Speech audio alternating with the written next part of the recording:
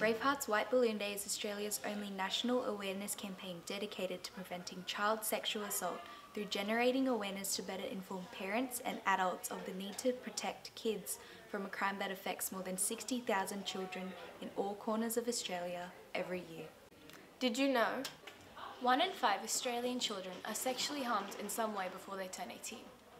It is likely someone you know has been affected by this crime or is at risk. This crime does not discriminate. Children of all ages, including babies, genders, socioeconomics, and cultural backgrounds are affected.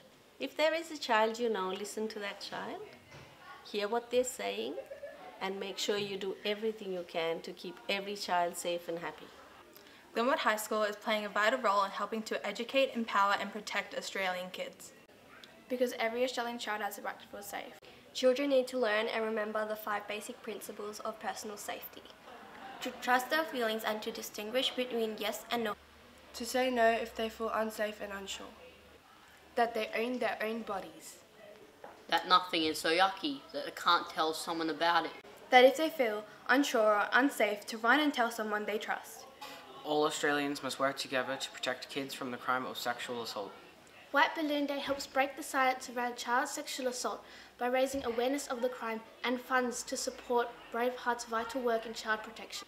With one in every five children at risk of sexual harm before their 18th birthday, together we can make a choice to protect Australian kids because child protection is everyone's business.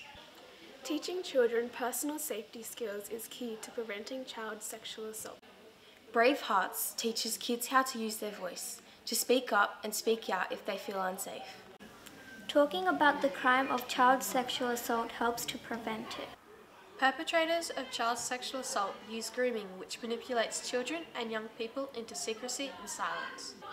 White Balloon Day counteracts this process by encouraging survivors to speak out about their experiences and exposing perpetrators. At Glenwood High School, our students are providing a voice. A voice to those young students who can't find theirs. Because no child should be unheard. Help lower this statistic. And support White Balloon Day.